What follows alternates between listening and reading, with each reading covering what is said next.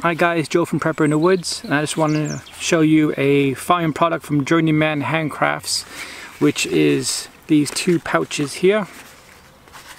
Very very nice. Very well made, um, budget friendly which is that really important to me and I said that if I found anything uh, worthwhile for you guys that's well made and budget friendly I'll let you know. So this is another product. Uh, I found it on a bushcraft trade group on Facebook originally. Um, I messaged um, them and said, can I do a video on it? They said, yeah. So I'm going to link you to the website now uh, instead of the Facebook group because last time some people found it um, a bit difficult to find the items in a um, Facebook group. So I'll just link it to the web page for them. Right, so hope you guys enjoyed the video now.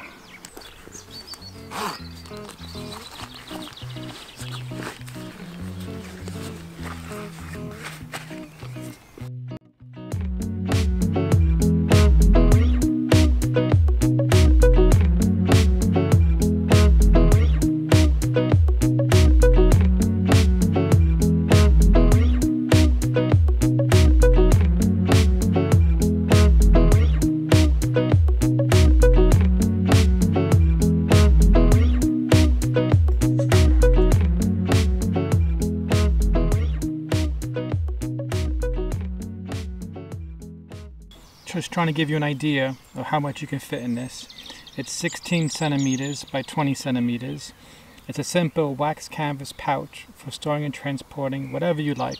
So this is what I put in there, just some loose items that I had in my bag. Um, just put them in these pouches, which are really quite nice. Um, it is a washed wax pouch, so it's done that way so that it's more palatable, so it's not a stiff one. The zippers on them are a very nice YKK and also you have a very nice pull tab on each side. You can hear how smooth that is. So that's very nicely made. Um, you can see the logo on it there. So I said it's very nice.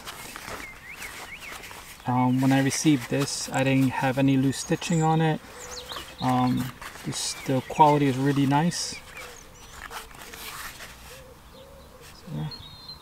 Um, I found this on Facebook in a bushcraft uh, trade groups. Um, and I contacted him after I bought this and received it and looked at it and asked him if I can do a review on it. He said yes. So he gave me the website details which I will list on the screen. Like I said, it's very nicely made.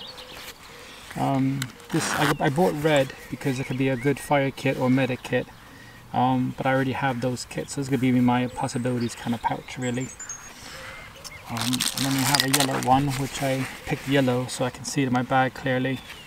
Um, a bit better. But again, you see here how smooth that is. So like I said, if I do find anything that um, is well made nice a good deal that I'll let you guys know. And this is another item that I found that's very well made and budget friendly. So I just want to share that with you guys. Like I said two well made pouches I picked up. Just want to give you guys a heads up on that. Uh, let me know what you think in the comment section. Thanks guys for watching and I'll see you next video. Bye